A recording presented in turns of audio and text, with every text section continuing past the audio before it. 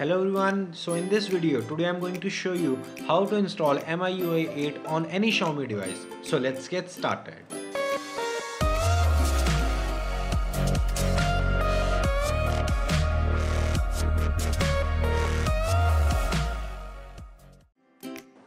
The device that I'm going to use in this video is Mi4i but the procedure will be same for all the devices. At present the company have released MIUI 8 only on the developer ROM so we are going to install that in this device. So first you have to download the MIUI 8 developer ROM from Xiaomi website and I will provide links in the description for each of the device so you can check out that. Make sure you don't download and flash MIUI 8 China developer ROM which may lead to boot loops and you may soft brick your device. So you can download this ROM according to your device.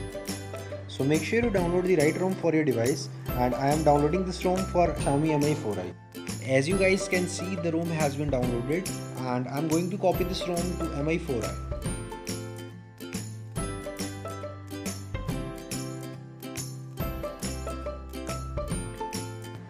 After copying your ROM to your device, just go to update app, select options and then go to choose update package and locate your ROM where you have placed it. Just tap on this ROM and your device will start updating.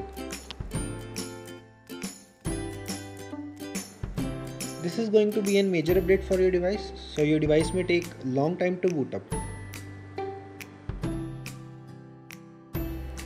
So the device has been started and successfully installed MIUI 8 on Xiaomi Mi4i.